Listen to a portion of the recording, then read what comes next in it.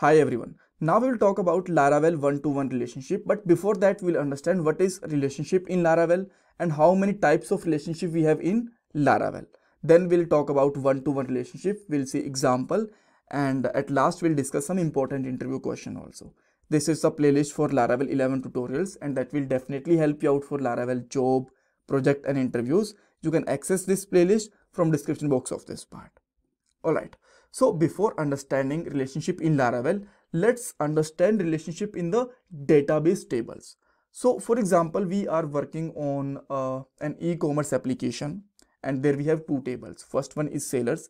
There we are storing the data for sellers. Right, we have two sellers right now, Anil and Sam. And second table is products. There we are storing the data for products. Uh, for now we have three products First one is iPhone, second one is Samsung M30 and third one is Oppo for example. Okay, so now how we can get to know which seller selling which products there, right? We can get to know, right? Because uh, uh, these are the completely different table. But there is a one uh, field which is seller ID there. So that can help us to understand uh, which product is sold by the which seller. So here you can say that we have the seller ID 1 so seller ID 1 belongs to the Anil. That means Anil is selling the uh, uh, iPhone as well as Oppo. And uh, the ID 2 which belongs to the Sam. Right. So we can say that Sam is basically selling the Samsung M30 mobile there. Alright. So seller ID is basically providing the relationship between these two tables. And when we are storing the related data in two different tables that time we can say that these are the related tables. And there we can apply the relationship. And we want to whenever we want to use the these data from both of these two tables we basically apply the relationship and we are getting this data right?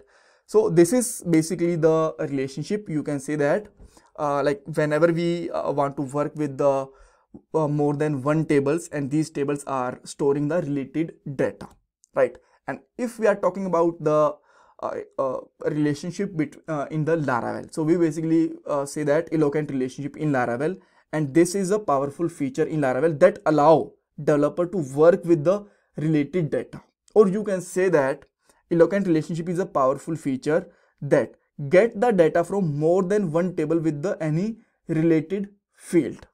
Right? So here you can we can see that we have related field seller ID. So we can get the data from these two tables simultaneously uh, uh, with the help of eloquent relationship.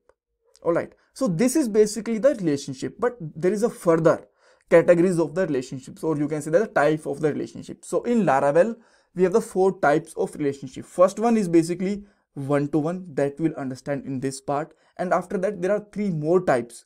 Uh, second one is one-to-many, then many-to-one and then many-to-many. That we'll complete in the upcoming parts. So what is one-to-one -one, uh, relationship? See, when one row of a table is only related to the one row of the other table, that time we can say that this is a one-to-one -one relationship. So for example, uh, whenever we are fetching the data, so there is a one row with the ID 1, right? Or you can say that, that there is a one user, uh, one seller, the name of Anil. So if this belongs to the only one product that time we can say that this is the one-to-one -one relationship. Okay so but now here you can see that the anil basically belongs to the two products. First one is apple second one is the oppo. So what actually happened in this case whenever we will apply the one-to-one -one relationship only one product or you can say that one row from this table and only one row from this table will be fetched all right? So in case of one to many one row from this table and multiple rows from this table can be fetched. And in case of many to one relationship multiple rows from this table and only one row from this table can be fetched. And in case of uh, many to many relationship multiple table from this table and multiple rows from this table can be fetched. All right so we'll not talk about the other relationship, otherwise we'll get confused. So right now, if we are talking about one-to-one -one relationship, simply means one row of seller table will only related with the one row of products. Okay, So now let's see how we can implement and how we can get the data from these two tables. So for that, first I have to make one controller. So let me make one controller PHP artisan make controller and controller name let's say seller controller. And s can be capital there. After that let me make two model also php artisan. Make model and model name can be let's say product as well as seller. All right okay so let me start this php artisan server again. And now i will uh, go to the controller first. And then creating one function there. You can put any name to this function. I would like to put there list only. And inside this for a moment to check the routes and all i'm just printing the list. All right now go to the web.php and use this controller. Use controller and seller controller. Right? And there what we'll do we'll put uh, route then get and route name will be let's say list only.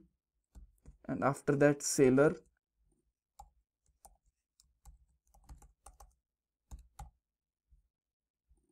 list like this all right so now let's check this route. Is it working fine or not? List route this is perfectly working fine. Okay. So the next thing is we want to fetch the data first. First we'll fetch the data from seller table. Then we will fetch the data from the boss table relatively. Okay. So there i will import the seller model.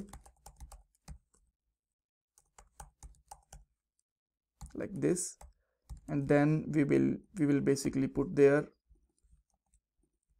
seller colon colon all like this.